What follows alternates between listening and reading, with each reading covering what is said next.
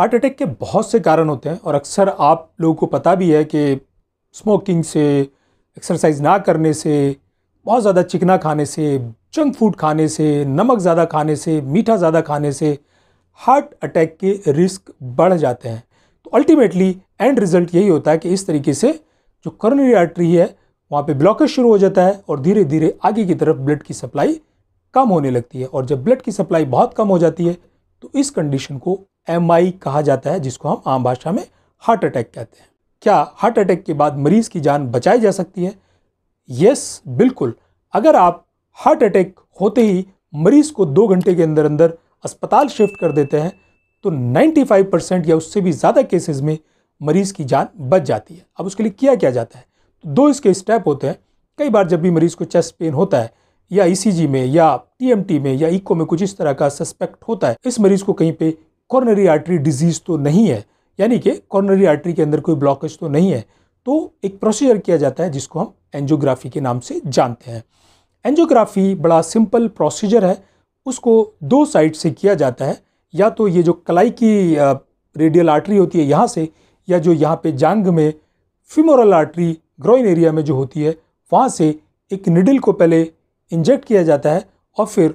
उसके थ्रू एक कैथेटर, यानी कि एक शीत को इंसर्ट किया जाता है इस आर्टरी के अंदर, और फिर जो हार्ट के कॉर्नरी आर्टरीज हैं, यानी कि जो आर्टरीज हार्ट को सप्लाई करते हैं, उनको कॉर्नरी आर्टरी कहते हैं। वहाँ तक एक कैथेटर पहुँचता है, और इसी के साथ साथ एक शीत या एक गाइड वायर भी चल रहा होता है। अब इस गाइड वायर को वापस निकाल लिया जाता है, और फिर एक डाई इसमें इंजेक्ट की जाती है। और जब डाई इंजेक्ट करते हैं तो उस समय एक फ्लोरोस्कोपी एक्सरे मशीन से इन इमेजेस को देखा जाता है कि ये डाई कहाँ पे मूव हो रही है। अगर डाई का फ्लो फ्री होता है, कहीं पे नरोइंग नहीं आती है, इसका मतलब एंजियोग्राफी नॉर्मल है, लेकिन अगर कहीं पे इस तरीके का कोई ब्लॉकेज या आर्टरी का नरोइंग दिखता है इट मीन्स कि यहाँ पे ब्लॉकेज हो गया है और इस आर्टरी के अंदर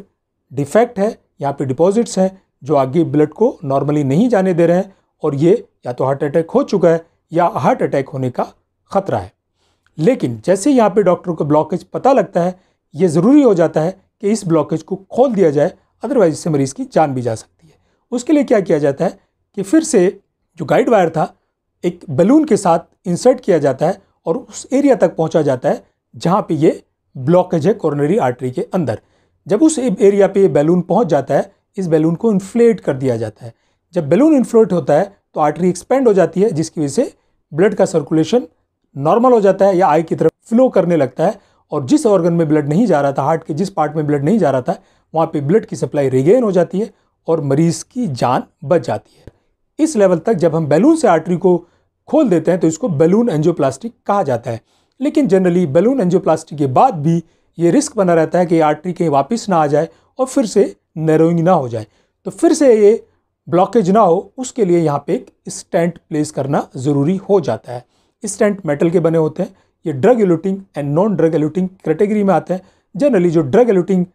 स्टेंट्स हैं, उनको बेहतर माना जाता है और उनको प्रेफरेंस दिया जाता है। तो फिर से इस गाइड वायर को वापस लेके इसके ऊपर, जो बैलून था बैलून के ऊपर, ये स्टेंट लेके जाया जाता है साथ में और फिर से उसी एरिया तक जाया जाता है, जहाँ पे अभी हमने बैलून एंजियोप्लास्टी की थी। और जब ये स्टेंट ठीक उस जगह पहुँच जाता है तो फिर से बैलून को इन्फ्लेट कर देते हैं और जब ये बैलून इन्फ्लेट होता है तो उसके साथ साथ जो स्टेंट है, वो भी एक्सपेंड हो जाता है। और जब ये एक्सपेंड हो जाता है तो ये आर्टरीज के साथ चिपक जाता है कॉर्नर आर्टरी के साथ स्टेंट अच्छी तरीके से चिपक जाता है और फिर बैलून को डिफ्लेट करके इस गाइड वायर को वापस निकाल लिया जाता है। अगले कुछ घंटों तक जो शीत है वो लगी रहती है, फिर उसको भी रिमूव कर देते हैं और एक प्रेशर बैंडेज से जो आपका यहाँ पे निडल जहाँ से डाली थी, चाहे वो रेडियल से डाली हो या फिमोरल से, वहाँ पे एक प्रेशर बैंडेज कर दिया जाता है और अगर एंजियोग्राफी है तो मरीज़ डे केयर में, यानी कि दिन के दिन घर जा सकता है, लेकिन एंजियोप्लास्टी में मरीज़ को ओवरनाइट स्टे कम से कम करने की ज़रूरत पड़ती है। इस तरीके से मरीज़ की जान बच जाती है, सेफ़ प्रोसीजर है, और 99 परसेंट केसेज में ये सक्सेसफुल माना जाता है। तो मुझे उम्मीद है आपको ये वीडियो अच्छा लगा होगा, जानकारी भरा लगा होगा, और अगर वाकई आपको ये इन्फॉर्मेटिव वीडियो लगा तो इसको ज़्यादा से ज़्यादा शेयर करें वाइडली शेयर कर लें सो दैट ज़्यादा से ज़्यादा लोगों को इसका फ़ायदा मिले, और अगर आप चैनल पर पहली बार आए हैं तो चैनल को सब्सक्राइब ज़रूर कर लें बेल आइकन का बटन भी दबा लें सो दैट इस तरह के सारे इन्फॉर्मेटिव वीडियोज़ आपको समय पर मिलते रहें। Thank you